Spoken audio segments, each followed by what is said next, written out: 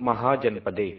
कबल मसीह के जमाने में कुछ जनपदें ज़्यादा ताकतवर थी और उनकी जुग्राफियाई हदें वसी होती गई।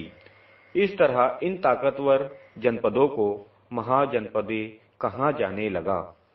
ईसवी सन से पहले छठी सदी कबल मसीह तक जुनूबी भारत में बहुत सी छोटी, बड़ी, आज़ाद रियासत वजूद में आई।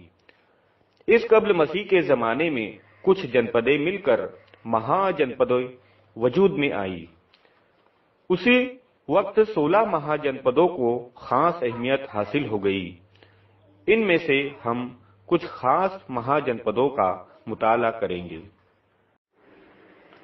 कौशल कौशल महाजनपद हिमालय के दामन में नेपाल और उत्तर प्रदेश में फैली हुई थी। श्रावस्ती कशावती और साकेत इस रियासत के मशहूर शहर थे। श्रावस्ती कोसल महाजनपद की राजधानी थी। गौतम बुद्ध श्रावस्ती की मशहूर खानका जैतवन में तवील अरसे तक कयाम पजीर थे। कौशल का राजा परसेनजीत वर्धमान महावीर और गौतम बुद्ध का अहम असर था। कौशल की रात, रियासत मगध में जम हो गई। वत्स। वत्स महाजनपद उत्तर प्रदेश में प्रयाग, यानी इलाहाबाद के आसपास के इलाके में फैली हुई थी। पुराने जमाने का कौशंबी ही कौशम कहलाता है। ये एक अहम तिजारती मरकज था।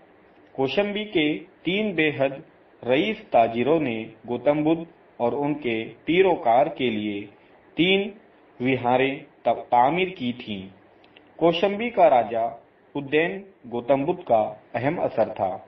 उद्दैन राजा के बाद वत्स महाजनपद का आजादाना वजूद ज़्यादा अरसे तक कायम नहीं रहा।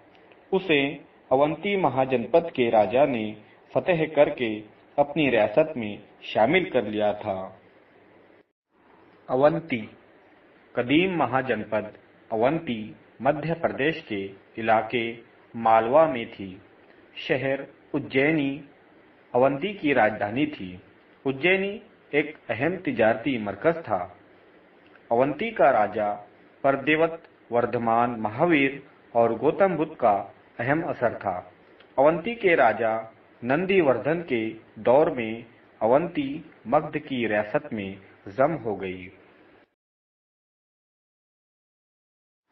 मगध बिहार के शहर, पटना और गया के आसपास के इलाके और बंगाल के कुछ हिस्से में कदीम मगध महाजनपद थी। राजगृह उसकी राजधानी थी। माहिर तामीरात महागोविंद ने बिम्बिसार का शाही महल तामीर किया था। बिम्बिसार के दरबार में जैवक एक मशहूर तबीब था। बिम्बिसार ने गौतम बुद्ध की शागिर्दी इख्तियार की थी।